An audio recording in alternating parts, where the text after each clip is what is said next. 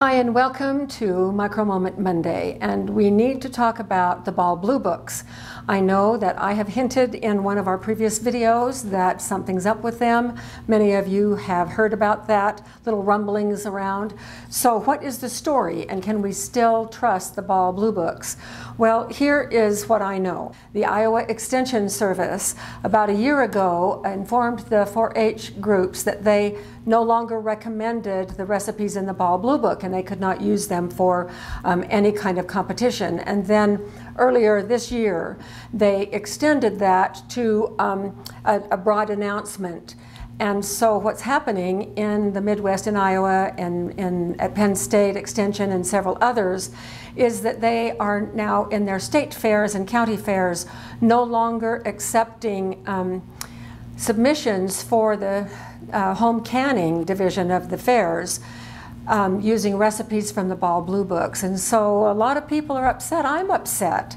Um, until we know really what is going on, um, it has kind of throw, thrown um, curve at us. The extension services, the, the ones who are now no longer recommending the blue, uh, the Ball Blue Books, have said there are essentially three reasons. First of all, Ball has changed hands over the years, and while they used to be very, very rigorous in their testing, they now are not sharing their testing protocols with anyone, and so nobody can check up on them to see whether or not their recipes are really safe. and so that's one thing the, the fact that they are not sharing their research with the extension offices so that they can review them. And then they have a couple of other excuses. One of them is that the, some of the explanations are a little bit too wordy and some of the measurements aren't exactly precise. I think that the real heart of the matter is that the Ball Blue Books will not share their testing protocols. For whatever reason, I don't know. Um, they have responded um, by saying how much they value the extension services and that they have worked with them for years.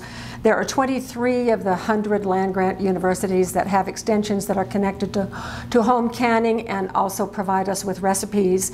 And Ball says that it really values them and they wish to continue to work with them. They have invited people from the extensions to come into their facility to check things. but they're still being just a little bit uh, vague about it. And they say that their testing is according to standards. They don't say what standards, which is one of the things, but the response from the extensions, one uh, from the Iowa extension, uh, the person said, well, we are not the home preservation police. Well, you know what? It kind of seems that way to me, but they are, are couching it in the idea that it, they're, they're um, the reason for their existence is much broader than just home preservation of foods. So, whatever, whatever, it's a little battle that is going on right now. And the bottom line for us is it safe? Is it safe for us to continue to um, can using the recipes in the Ball Blue Book? So, I took a little trip down memory lane. This is my very first Ball Blue Book the cover is missing, 1975. And as I looked through this, um, there are little cooking spots on it, things are circled, and I remember so fondly uh, in 1975 when I was deep into just learning how to do pressure canning. This is the 1995 Ball Blue Book. And there's a place in here, and I tried to find this right before we started this video, but it said you no longer need to use aspirin as a preservative in your canned goods. So I thought, woohoo, I don't ever remember that that one is, was in place. And then um, this is the one that I recommended in our video on uh, what is happening in the world of pressure canning. And you can see how much I use it. I have bookmarks everywhere, so I have used a lot of the recipes in this book.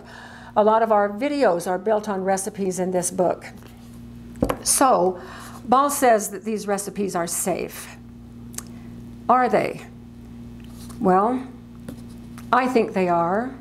But here's the thing everyone is going to need to make their own decision on whether or not to use these recipes anymore until this situation gets resolved. The extensions are saying that the only thing that they now recommend is this book. This is the, um, I think this is the 2015. There is now a 2020 book out um, I'm not going to get the 2020. I've read about it. It's not that much change from this. Um, but if this one is no longer available, then by all means get the 2020. Um, and this is the USDA's Complete Guide to Home Canning. It's the National Center for Home Food Preservation. And these recipes are the ones that are recommended. So here's how I'm going to do it. Um, I, I, had a question actually yesterday from one of our subscribers, one of our viewers, who wanted to know about um, this recipe in the Ball Blue Book. And it is called roasted tomato soup. So in reading over the directions, she had a question, and it's a very valid question because the directions here conflicted with some of the things that were in um, the uh, USDA material. Uh, what they have you do is take the tomatoes and all of the ingredients and do, cook them and it calls for onions and tomatoes and basil and a whole lot of other things. And then after they are cooked, you run them through a blender um, to, to make a puree of the soup, and then you uh, put it back in the pot to bring it up to temperature, and then you can it. Now, um, I have not done this recipe. I've not done all the recipes in here. But this is one that I would choose to adjust. And I would adjust it to what the USDA says about this. USDA um, prefers that things are not in a viscous form, that they have chunks in them, and that they are covered with a liquid so the heat penetration can get clear into the middle.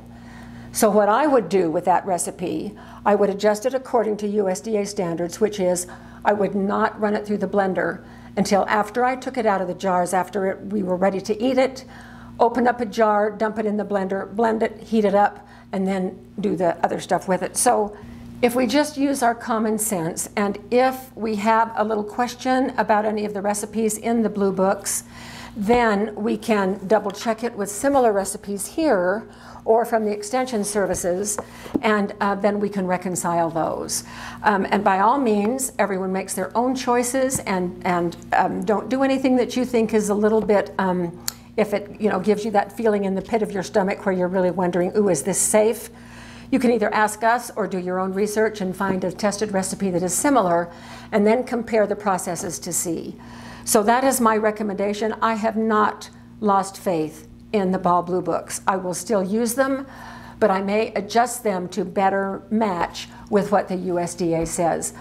So I hope that this has helped um, with the information about whether or not the, the Ball Blue Books are still credible, which I think that they are, that we can rest easy and can move forward in our canning journey. So thanks, and I'll see you at our next micro moment.